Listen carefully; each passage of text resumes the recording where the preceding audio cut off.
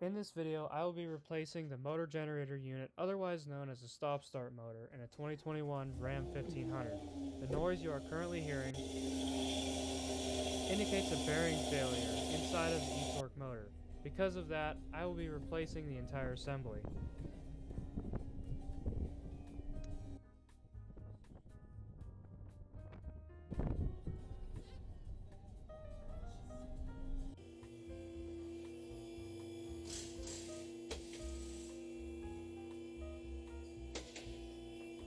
The first step of this process is removing the belt for the motor generator unit. We'll need to remove these two 13mm bolts and also remove the limiter bracket for the heavy duty belt tensioner.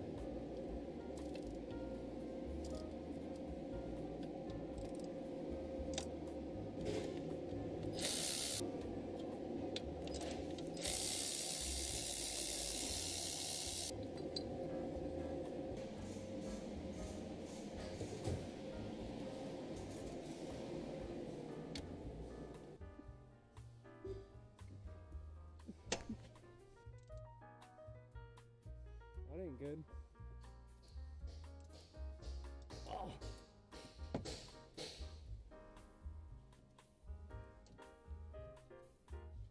Once the belt is removed, we can go ahead and lower the vehicle back down and get back under the hood.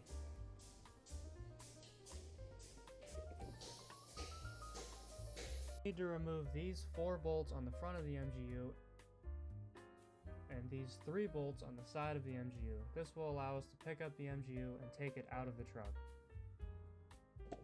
Thank you.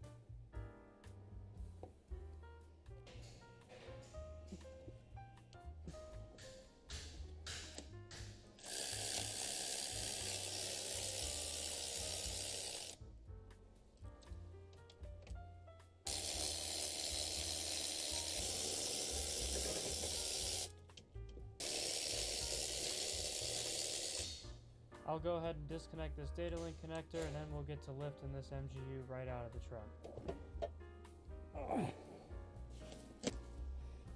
Next, I will carefully set the new MGU back into the truck and return the fasteners to their original position.